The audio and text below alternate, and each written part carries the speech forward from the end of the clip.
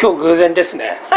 はい。どうもどうも。どうも。小徳で森岡サザエです。よろしくお願いしす。どうます。もどうも。びっくりしたね、さっきね。びっくりしましたね。ほぼ十二十分、十五分前。今日今日今日曜日じゃないですか。そうですねで僕ちょっと今日んあの脳を歩く動物たちをこう映像を撮って歩いてたんですよ。うんうんで高松の駅からスタートしていろいろ元台行って、うん。で最終岩手公園来て。うん。で最後あのあったかいコーヒー飲むかなと思ってあの テレビやってんとこに自販機。自販機あるからそこで買おうかなと思ったらなんか遠くからあの着膨れしたおばちゃんが手振んだよね。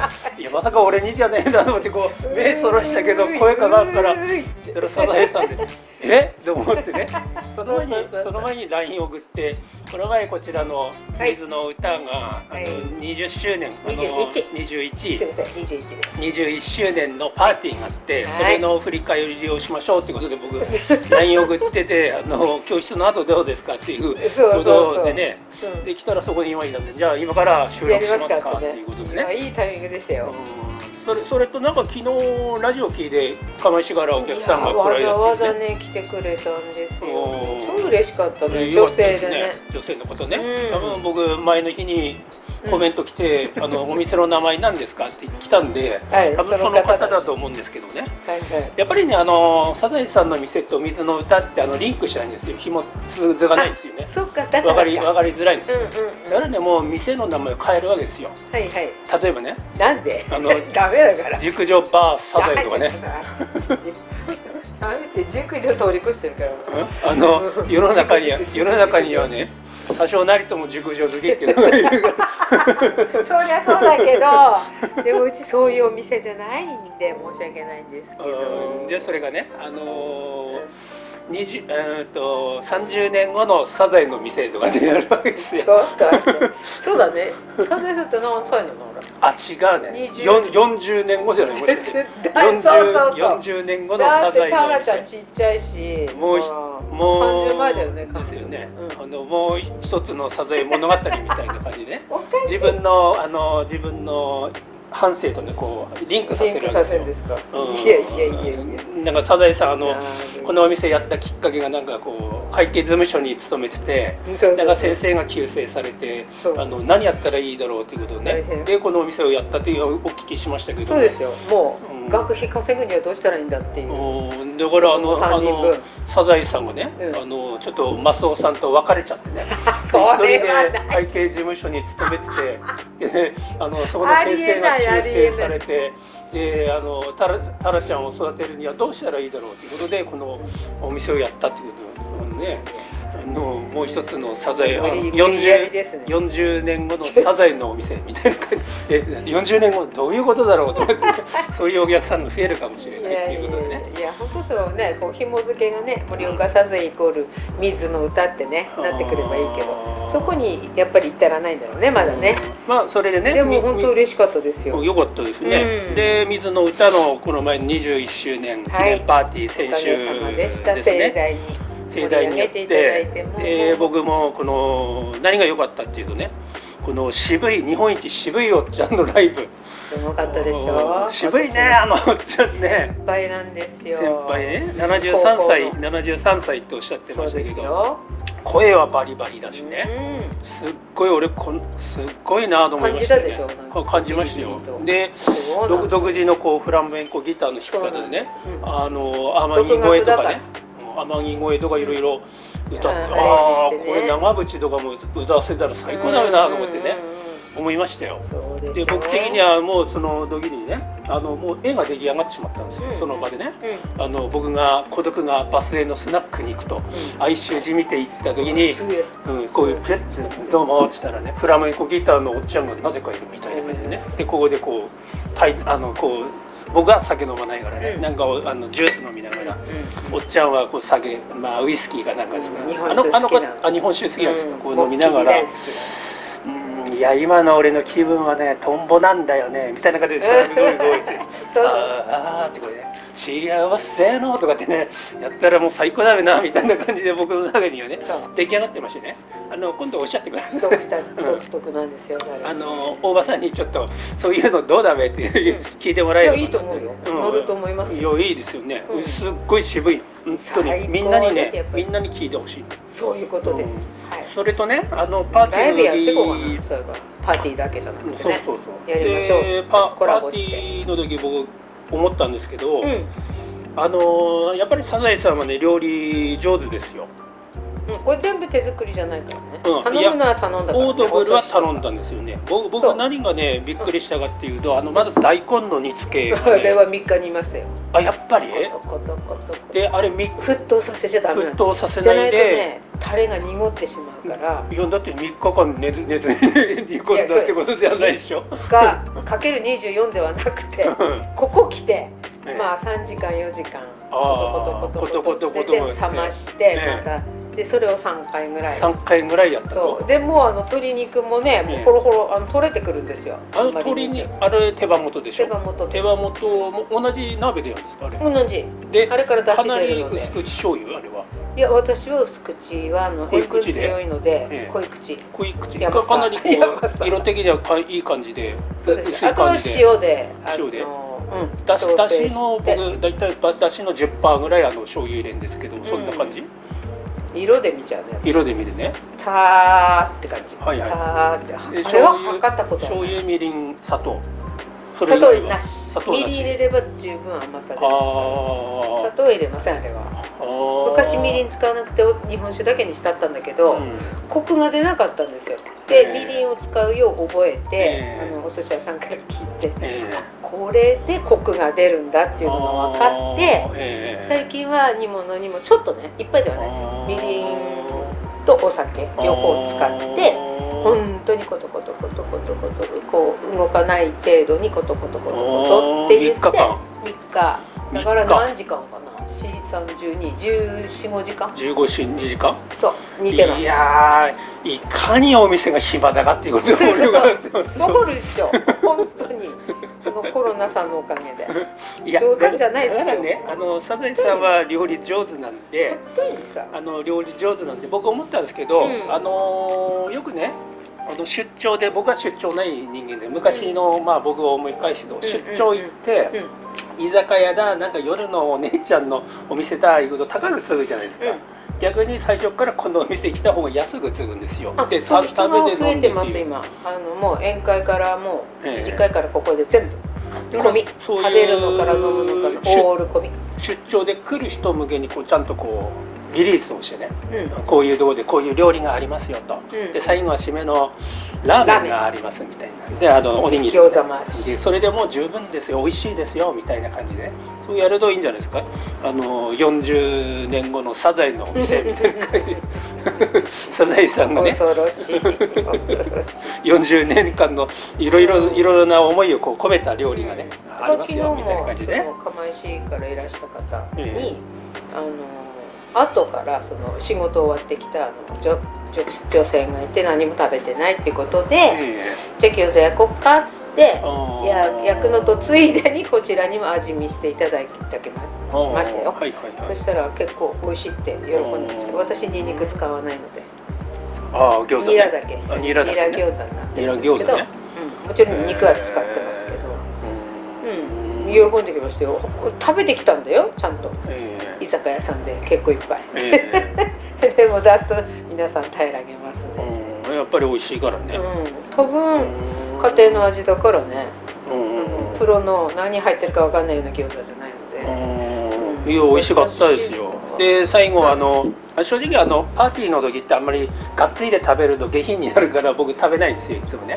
うん。ほとんどこの食べてもらわないとさいやなんだけどね。残るんだわ、うん、あのーうん。このオードブルとかほとんど食べなかったんですよ、なんで？いやけ美味結局仲間内だとガツガツ食べんだけど、うん食べていいんだよ。初心者の方とこう一緒にいると、まあ、初心者にしても初めましてのね。サザエさんのこう身内の方で昔の僕のじゅあの上司の関係のね あの形だからもう話は盛り上がったんですけどなかなかこう初めての方とこう箸つっついで食べるっていうのはなかなかできないからお腹空いてたんですよ。だから最後ねう最後あのラーメン食っていつものようにラーメンあの食ってくるかなっていや絶対今の俺の胃袋じゃ絶対次の人も戻れるなと思ったんですよ、うんうんうんでも腹減ってるべしなと思って家に帰ってなんか作ろうかなと思って、でなんかあの袋でお土産もらったじゃないですか、うん。うんそしたらあの赤飯入ってておロッキーと思ってね。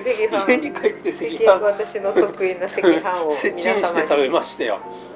あの赤飯もうめんだよね。ょ？よかったでしょ、うん。みんねいや多分ね社交辞令じゃないと思うよ俺え社交辞令でじゃないな僕自分でも美味しいと思うもん僕て。何回も俺商これ売いいな商売にした方がいいですよって言ってんのがご注文受けたまわりますよ。うんご注文っていうかもうそれをあの常にあるようにしとかないと。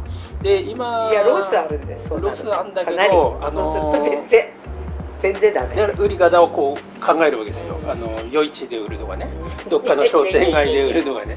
今あのやっぱり赤飯難民が多いですよあの餅屋ね。餅屋さんとかもう赤うん飯継ぐんだから餅屋さん自体がもう撤退してるんで戸田急さんは出してるね。赤飯すごい高いよ。こんなこんなちっちゃいので350円だからうんそれをスーパーで売ってるんですか？スーパーで売ってる。でも美味しそうに見えない。うわこれしか豆入ってないんだとかっつって見ちゃいます。あこんなこと言っちゃダメあれ考えた方がいいですよ。でもね受注受注です。それに限ります。じゃないと本当目処つかないはいはい。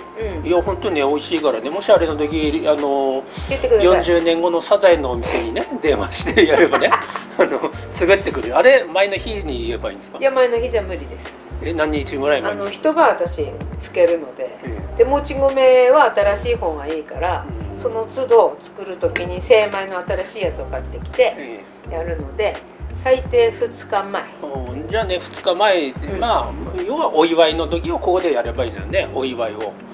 うん。うんでじゃあ赤飯もお願いします特特別なんかね赤特別手当なんとかこう包んでねご祝儀袋に入れればもしかしたら日本一渋いおっちゃんもライブやってくれるかもしれませんけどあなたのためにとかでね女の人のメロメロってくれよって。メロ出るんだよあいまだに。絶対もう出るでしょあのおっちゃんあの今まで何人の女を泣かせてきたかっていうのがねあの声にねうん。こもってましたよ。色気あるでしょ？色気をまだまだあるんですよ。まあ言ったよね。はすごいなって。うん。何人泣かせたんだよね。片手じゃ片手じゃ効かないよ。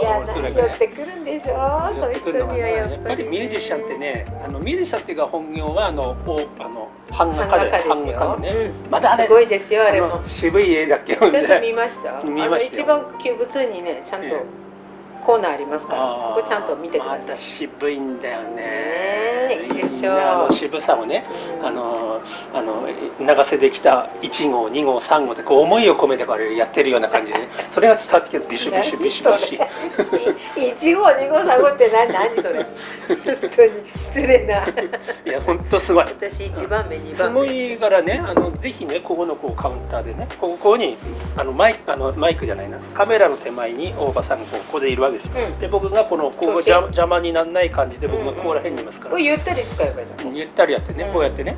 いやー今の俺の気分こうなんだよね。って大場さんどうかな？あの安全地帯のあれ行ってもらいません？セロム来るわけですよ、であとあのあれああれが良かったですよ。あの新沼賢治の津軽、うん。なんうん。なんていう？ゆ雪を七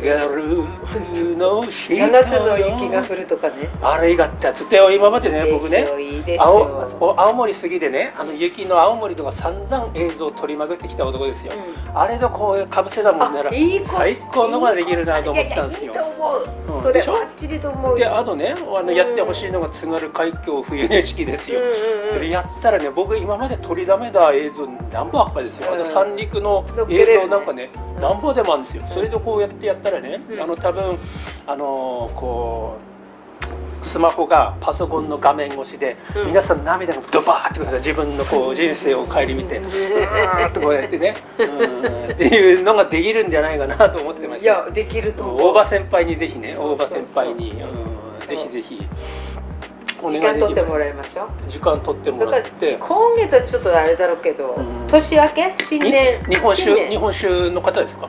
もっきり大好もっきり。きうちはあの虎あ虎の王じゃない。わしのわしわしの金印なの。が好きなの？あの人は。ううち私がそれ選んでおいてるのでそれ大好きです。よ先輩は、まあもしあれだったら日本酒好きなの聞いてくださいよ。それ僕がお持ちして、うん。ギャラの代わりに日本酒なんだ？それちょっと安いかも。高いのでもあ例えばねあの由利本荘のすごくいいこうツタツタツタってこううん。あの日本で屈指の酒があるんですよ。あそれいいんじゃないですかじゃこうなんか昔の製法でうツタツタ一滴ずつやるやつがあるんですよ。ん高いっしょ。高いと思いますよ。いいんじゃない？それ。でそれをこうまあ一升瓶ですよ一升瓶一升？うん。四五尾ないの？いやあると思いますけどやっぱ持ってくれない一升瓶じゃないですか。あの方ちょっとかなり飲みそうな感じで。いやあのね飲み方はすごいスマート。あスマートなんですガかなんて飲まない。うん。味わって飲む方です。じゃあそれでねこう飲みながらねこうやってちょっとこう料理がね。正月明けしましょう。ん。料理がちゃんとあって。う、うん、私の入り鶏大好きなんですよ先え何輩赤飯も好きだけど。あのごぼうとか筑前煮。あのな一般的にはあの筑前煮ごぼう人参と鶏肉とかってこれじゃないですか？もしかしてね。素材さんも流された一人じゃないですか？いや私はそういう そういう目には合ってないです。目に入ってない。あそこだけは。先輩って感じだから。ここうも後輩後輩って感じね。そうそうそう。ああいやいだからやいやねあのうんと赤飯とさ作ってさ。うんじゃあ黒ぜひ。黒豆とね。美味しかったでしょあ黒豆も良かったですね。だから黒豆ね。最後これ入れあの持って帰ればよかったんだけどおいあおい言えばいっぱいあったんだ。よいっぱいあったでしょ、うん黒豆にこうガッツがわけにいかないからね。結局でかっ残すこつけんの残そんな時に。いやいろいろ。いやいやあのほんと余る余ると困る。あれに2部はもう全部引き下げてかっこ新しいの。だかっこつけるしかないじゃないですか。本当の孤独を見せられちないだってあの時のメイコさんが 僕のちょっと半,、そうだね。半分ファンだったじゃないですそうかだっけね。感動してたんですか。そうしてそんな時感動してたそんな時俺がっつりこんな感じで食ったら あ私の孤独さんのイメージがなっちゃうわけですたよ。それがだから食べるの好きなくせしてそのえでも芋のこ汁は食べたでしょ芋の子汁は食いましたよ、うん。で芋の子汁とか食ったけどあのオードブルなんかガッツわけにいかないからね。食べたかさったの。っぱり減ってすっげえ俺食いたかったんですよ。でもねめいっ子さんののめいっ子さん多分俺と同じぐらいのに年じゃないですかあの方。僕51歳。ちょっとねうん多分40代は40代だね。あ後40半代ですか？じゃあ僕より下ですよねあのーああの僕が使われたおじさんの2番目の娘さんが僕より2個上だったんですよ、うん。かおりちゃんね。えおあの子今ちょっといいとこだけどさっぱりわかんえないな。うん。そそっちよりは下なわけですね。彼女は。だと思う。うだと思うね。ちょっとちょっと後で確認します。じゃあ僕よりも何歳か下っていう感じですね、うんそのイメージを壊すわけにいかないから上品上品に食べましょうかっこつけしやったんだ何よそれだからもう腹減ってた時にもうあのでもねあの、うん。赤飯のおかげでよかったですよ、うん。ラーメンラーメン食ってれば今今よりね1キロ超えてたはずなんでうんね、うん。締めのラーメンってね。うん。いやでも盛大なパーティーで何よりでさんでした。皆さん喜んでくれてよかっねたですね。今までで一番良かったんだよね。とかって言われておばさんが。あ大場さんが、うん。あああそういのあのね。や本人もねの集中できたって言ってました、うん。あのねギャラリーは悪いとダメなんですよあの乗らないんですよ、うん、あの結構ね僕盛り上げるの得意なんですよ、うん。あ の多分一番盛り上がってたでしょ、うん。僕。だすっごいね僕集中ドンって入るとその人を乗せるっていうそういう天性のものを持ってるんですよ、よし大場さん乗せてやるぞと思ってね。で乗ってたでしょ？だから目目いっぱいやったじゃん。いや全部一時間1時間やってあのよ予定より3曲ぐらい多く弾いていただいたじゃないですか、うんでここでもっと俺乗せますからね 大場乗っちゃうっていうのね、うん。僕ニックネームつけてね、うん、大場のおっちゃんのもう年は離れるけど気心してると大体友達みたいになるのが僕得意なんでね。年上の人男の人って僕本当仲良くなるの得意なんでね、いいと思います。ぜひねここでやりたいですね。はい。でこれをこ収録したいといううこうルーティンでね。ルーティンでこう回しながらでお酒なくなったらもうそういうの僕買ってきますからね。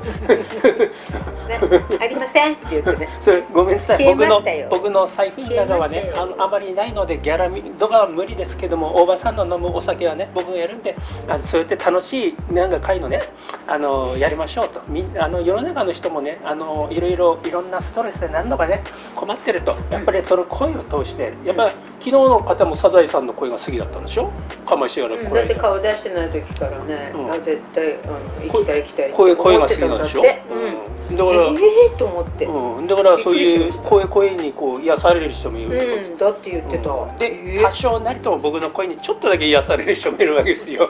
でそこのねでやっぱりみ皆さんこう癒し癒しのねそういうラジオっていうなんかこうねうん。あのよく玉置浩二が昔やってたやつみたいな感じでねこうトークしながらこう弾飲くっていうみ屋の設定でね、バーの設定で。それがねもうあいいできるわいいか夜。あ朝。あうんよ夜でいいんじゃないですか。夜の方が雰囲気で。あただ僕人来ないし。9, 時9時に寝る人だから僕の場合いいじゃん7は時からやって、うん8時頃でお開きみたいな感じで。あの1時間でうん。収録しちゃって、ええ。あとはほら帰って寝ればいいでしょ。そうそうそう。でそれやればいいんじゃないですか。うんうん。したらもう最高のやねう。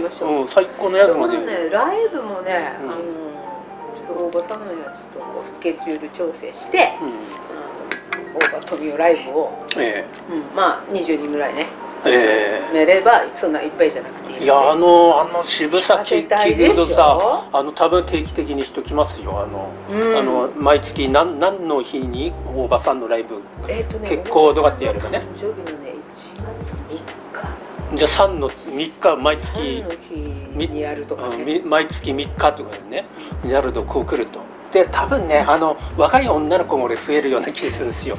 いやあのああいう人はね逆に若い女の人がこうあ可愛いおじいちゃんみたいな感じで来るからね多お分じいちゃんのそうですよ雰囲気ないからだけどあの若い女の子からするとうん。やっぱりそういうなんかねこう癒し系の、うんおじいちゃんみたいな感じなんですよ、うんちょっとこう4050になるとちょっと違う目線で見るんだけど、若い2 3 0代の女の子が逆にこう癒されるみたいなこう、うんね、あの 感じに今同居とかしてなかったりするから、ええ。やっぱりちょっとした憧れっぽいのもねありますよね、そのおじいおじいさんっていうのは失礼だ。全然おじいさん臭くないから、うんまあそれをこうねいう年の取り方いいないいなと思ってってね。憧れますよね。いやぜひぜひねそれをちょっとオファーお願いします、はい日本酒担当ん料理担当とかね、はい。でトークは任せてください。トークは任せてください盛り上げてね大場さんがもうぜひ歌いたくなるような感じでね。うん、して、あのーサザエさんサザエさんも入れながらねサザエさんにはあのぜひハリウッドやってほしいんですよ。あのルイスのねああ無情をね ああ無情ってなんで私が無情なんでも無情って。でこうやる時僕はその時サングラスかけてるんですよ、でこうサングラス外したら 吹き出しちゃうよね吹き出しちゃうことってね。なるほどね。うん。そんな感じでね。いやでもねおばさんと私とねあのちょっとライブやろうかな。おおいいんじゃないですかあのねあれえっと「紅の豚」のさ、紅の豚。うん、あの挿入歌でね加藤時子のやつがいいやつあるんですよ。うんそれぜひね、それをギターでうやろうっていうか、うん、やってくれると。んうん、いやぜひいつかやりたいん。ですよそういうコラボして。それすぐできるわけですよ。あできるんうん、ですよ、それすぐできるの？すぐできるあの私譜面さえあれば。ただねあのややったところで世の中の人に見てもらわないとつまんないものだけどあそね。それが僕がパッてそれを発信する、うん発信すると感じで。ちょっとそれでこうトークなんか面白おかしくみたいな感じね、うんで僕はなんかこう大場さんのこうニックネームつけてね。僕もちょうどいい具合でこう年が開いてるわけですよ、うん。大場さんのね。うんでそうなるとねあんまり近い近すぎると、うん。こうちょっとななんかこう近寄りがたい。これだけ年離れてると、僕がねいじりがいが出てくるわけです。ようんそれで本当に僕銀行いた時から俺得意なんですよ。なんで俺こんな年上のそのあれですよ。日本日本屈指のあのあの上場企業の役員やってる人とか、あの全国の組織の役員やってる人が、僕昔からそうだったんですよ、うんうんうん えなんなんダメなみたいな。ねうん、そういうのは得意なんでね。必要だよねそれね。でそういうのをやってね世の中のそのちょっとちょっとこうねそうだよね。あの皆さんに知ってもらうっていうのは悩んでる人にね。いいかもで声声でね癒す癒しの、うんっていうことですよ。いいですね。じゃあぜひオファーお願いおします。役に立てオファー。して日本酒す。日本酒何が好きかと、はい聞いておきうん、ます。できればあの月の輪って言ってほしいね俺ね。その同級生だから社長がね。あんじゃあ月の輪のなんか美味しいやつにしたら。だね、うん。まあまああの大場さんが月の輪好き塩だよか、ね。うん、月の輪好きかどうかあのねこれっていうそういうわがまま言う人じゃないので。うん、じゃあ月の輪にしますか、うん。うんじゃあちょっと社長に聞いてきてね、うん。うん、それでほらね宣伝にもなるでしょ月のここにあるわけだから、まあそういう感じですよ、はいそそれでねできればいいかなっていうまだなんか孤独孤独のトークラジオからねなんだかこう、ミュージックのなんだかっていう、まあ、名前は考えてるけど、新たな展開ができそうな、大場さんが OK であればねそんな感じができそうな。うんでいろいいででできれば、あのそれを見てね、まあ、いろんなああの我こそはみたいなミュージシャンがね集ってくれればね、うん。例えば僕のあの仕事仲間のねヒロシちゃんっていうまだまだ渋いおっちゃんがいるわけですよ、で大場さんと絶対俺あの時会うなと思って2人であのラあのセッションやればすっげえことだなと思ってたんですよ。ブルース。ちょっと感性違うような気するただね大場さん。があると大場さんやっぱり一人があ一人がいいですか、うん。じゃあ一人でね。これで大場難しい。いやわかん大場さんのそのミュージックに合わせたようなあの映像は僕もう7年間も撮りだめてるんで、うん。それに合わせてやったら PV できるわけですよ PV、うん、でこうモデルさんが何かあったらそれもやってねたそれを撮ってこうやったもんならもうみんなナミさんがちょちょぎれるわけですよ。自分の人生に合わせてとかね。久しぶりに聞いたらちょっと切れる。ちょちょぎれでね、うん、っていう感じでね。あのそういうなんか40年後のサザエの店はそういう店ですよ みたいな感じでね。言ったらもうどうするますもう大繁盛したらもうたまったもん嬉じゃないですしい。よねもう私いっぱい寄付しちゃう、寄付？いいですね。まあそういうことであのまた新たな展開ができるかもしれないと思う。可能性がすごいです21年のこの水の歌のあのパーティーからねこはい。う開いて開いて、はい。僕のもう頭の中ではもういろんなことがね もう出来上がってるんでね っていうことでございました。いいはい、はい。ということで今回はあの水の歌の21周年っていうパーティーをちょっと振り返りながら渋いおっちゃんにこれからオファーをしていくと。皆さん期待しててください、はい。それではまた次回もよろしくよろですしくお願いします